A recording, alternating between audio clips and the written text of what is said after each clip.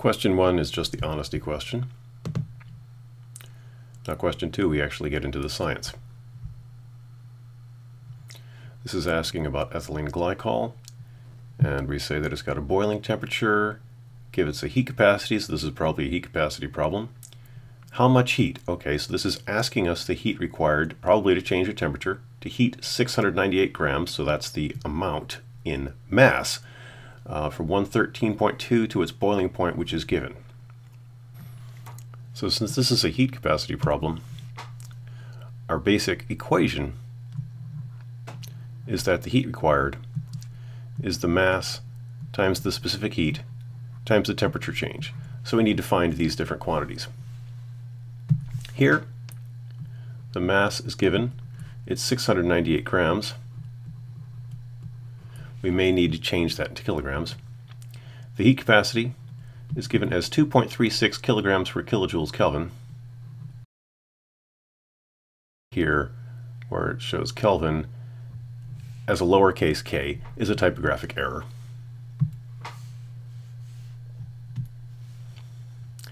And delta T, well that's the final temperature minus the initial temperature. The final temperature is its boiling point of 197.3 Celsius, and its initial temperature is 113.2 Celsius. You may ask, isn't it necessary to convert the temperature from Celsius to Kelvin because the heat capacity is given in Kelvin? Well, it turns out that the difference between two temperatures in Celsius is the same difference if you do it to Kelvin. Because changing from Celsius to Kelvin, all you're doing is adding the same number to the Celsius degrees. And when you subtract then the difference, that's not going to change anything. So the difference in Celsius and the difference in Kelvin is the same number. So our number here for delta T, 197.3 minus 113.2. That's 84.1 Kelvin or Celsius. We'll keep it in Kelvin because that's what the heat capacity is in. Now notice, we want the answer in joules, it says. How much heat in joules, it asks us. If we use this number, we're going to get kilojoules per kilogram, so we'd get our answer in kilojoules. However, we're giving an input in grams, so it might be simpler to convert the heat capacity to joules per gram than to convert the mass to kilograms. So let's do that. Kilojoules per kilogram is just going to be the same thing as joules per gram. So we have 2.36 joules per gram Kelvin. And now we can just get our answer. So we have M, that's 698 grams. C, that's 2.36 joules per gram Kelvin. And delta T, that's 84.1 Kelvin grams cancel out, the kelvins cancel out, and we get how much heat in joules. So when the dust settles, in terms of our numbers, we have 698 times 2.36 times 84.1. We're going to get a pretty big number. And I get 138,536. And in reality, we don't have that many significant figures. We have at most three significant figures. So 139,000 um, would be perfectly sufficient. Question three. We have a new metal, vibranium. It's a fictional metal. And so we are given a heat input and a mass. We're given a temperature change. So this is asking the heat capacity. So we're going to need the same equation. We just need to solve it for a different quantity. So again, we're going to use the same formula. Q equals mass times specific heat times temperature change. Except this time, we're trying to find the heat capacity, C. We'll solve for C. And so we get Q over M delta T. Q is 85.5 joules. M is 28.06 grams. Delta T is 28.8 degrees Celsius. And it wants our answer in joules per kilogram Celsius. So we've got Celsius, uh, we've got joules, however we need this to be in kilograms to get an answer in kilograms that we can convert now. So this will be 0.02806 kilograms. We can just plug that in. C equals 85.5 joules divided by 0.02806 kilograms divided by a temperature change of 28.8 Celsius. So we're going to get an answer in joules per kilogram Celsius. That's nice. For the numbers, we just need to do, in this case, 85.5 divided by the product of 0.02806 times 28.8.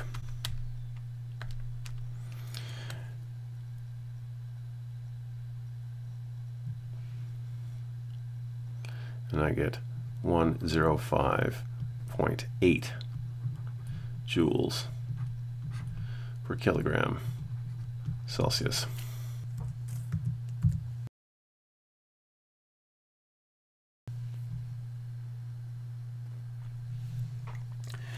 Next, we have a question about a reaction, explosive decomposition of a high explosive, so 0.119 mole sample. Uh, we get 489.7 joules of work and 489 joules of heat. We need to know what the enthalpy of decomposition is. So decomposition is this reaction. It's reminding us of the sign. Remember the sign convention that when energy is added to the system, that's positive. The system is adding energy to its surroundings, that's negative. So in this case, the system is doing work on its surroundings and it's adding heat to the surroundings. So in both cases, the heat and the work are negative. So what we're given is we have a number of moles. We have work done, and this is going to be negative.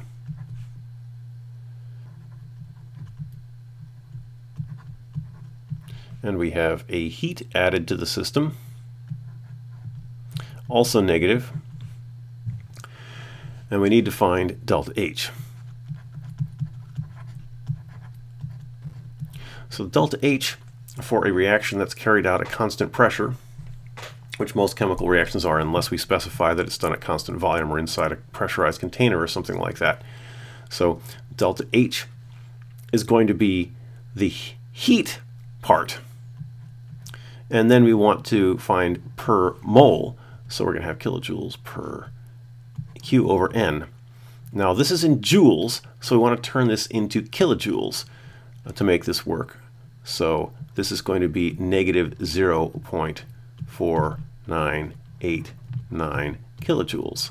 If we do that, we'll get our answer in kilojoules per mole.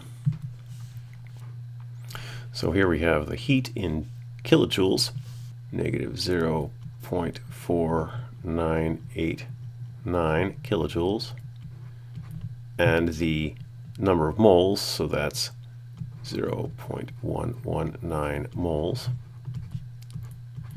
For the numbers, 0.4989 divided by 0.119 gives us 4.19192 kilojoules per mole.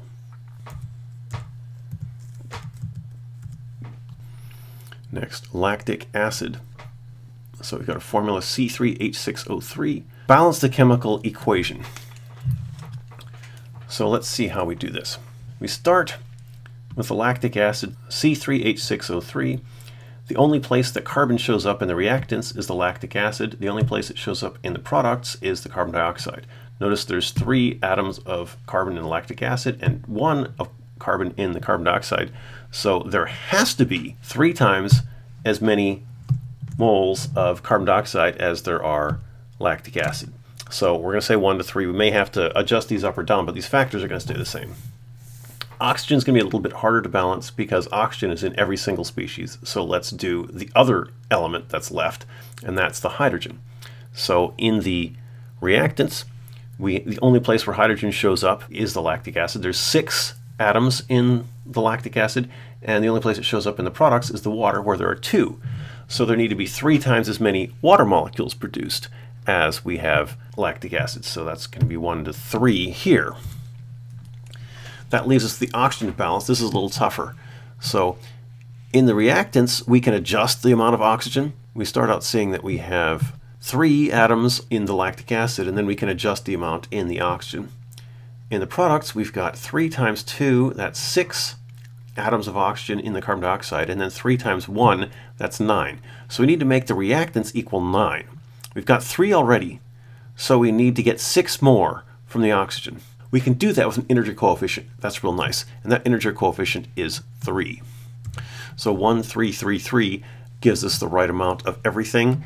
It gives us three atoms of carbon, it gives us six atoms of hydrogen, and it gives us 3 plus 6 is 9, and 6 plus 3 is 9 atoms of oxygen.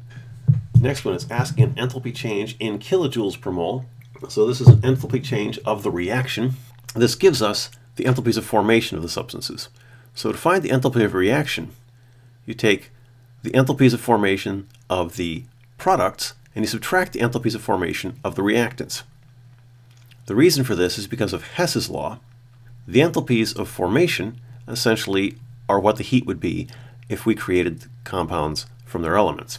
What you're essentially saying is the products part, you're creating the products from their elements. Then for the reactants, if you do minus the enthalpy change of the reactants, that's saying that you it's the heat required to transform the reactants into their elements. So we're formally taking the reactants, turning them into their elements, and then turning the elements into the products. Since that's the same starting point and the same ending point as the reaction of interest, the enthalpy for that process is the same as the enthalpy of the reaction of interest. So how do we do that? Well, our products are CO2 and H2O, but for one mole of lactic acid, we make three moles of carbon dioxide and three moles of water. So we need to take three times the enthalpy of formation of carbon dioxide and three times the enthalpy of formation of water. Then we'll subtract from that three times the enthalpy of formation of oxygen and one time the enthalpy of formation of the lactic acid. Uh, carbon dioxide minus 393.52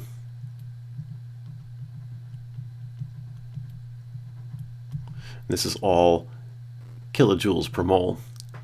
And then we add to it three times the enthalpy of formation of water, so that's minus 285.83. Then we subtract three times the enthalpy of formation of oxygen, which is zero because it's an element in its standard state.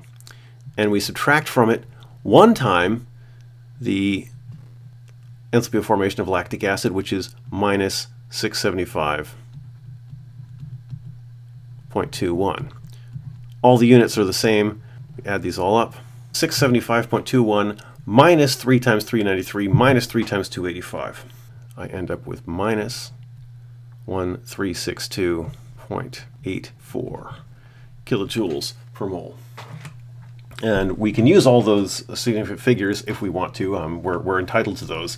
We haven't lost anything. Minus 1362.84. Question 7. Does this reaction absorb heat from the surroundings or does it release heat to the surroundings? Remember our convention. The enthalpy tells us the heat absorbed by the reaction when we're carrying this out at constant pressure. In this case, the heat absorbed is negative, so that means that it releases heat to the surroundings if it's absorbing negative heat. Is it exothermic or endothermic? Well, releasing heat to the surroundings is exothermic.